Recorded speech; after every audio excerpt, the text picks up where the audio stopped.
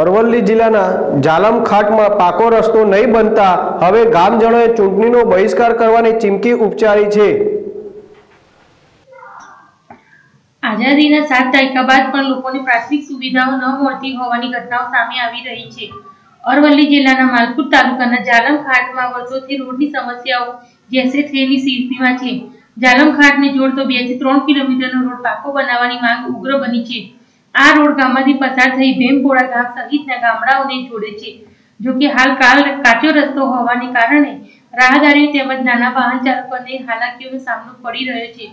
ગ્રામજનોએ સ્થાનિક ધારાસભ્યને પણ અનેક રજૂઆતો કરી, તેમ છતાં હજુ કોઈ પણ પ્રકારનું નિરાકરણ ન આવતા હવે ગ્રામજનોએ બાયો ચડાવી છે. અને આગામી સમયમાં ગાંધીજીના માર્ગે આંદોલન સહિત ચૂંટણીનો બહિષ્કાર કરવાની પણ ચીમકી ઉચ્ચારી છે. હાલ આ રસ્તો ધૂળિયો તેમજ કાંકરા છે. જેને કારણે ચોમાસામાં બંધ કરી દેવાય છે.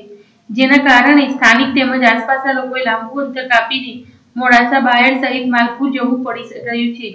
આ સાથે જ જાણવા મળી રહ્યું છે કે ગ્રામજનોને સ્થાનિક ધારાસભ્યો અનેક વાયદાઓ કર્યા હોવા છતાં હજુ સુધી કોઈ નિરાકરણ ન આવતા હવે ગ્રામજનોને રસ્તાની સુવિધા ક્યારે મળે તે જોવું રહ્યું. સંજય શર્મા જ્યારે ટીવી જ્યારે આ દેશ આ જથ્થો ઓગણીસો સુડતાલીસથી, ત્યારથી આ ગામની પરિસ્થિતિ સાહેબ રસ્તાની બહુ ખૂબ જ અગવડ છે.